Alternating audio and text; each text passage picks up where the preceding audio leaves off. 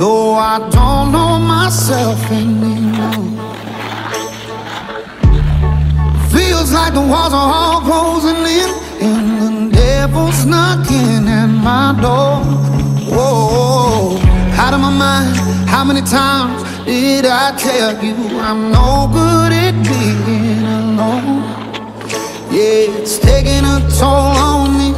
Trying my best to keep from tearing the skin off my bones. Don't you know?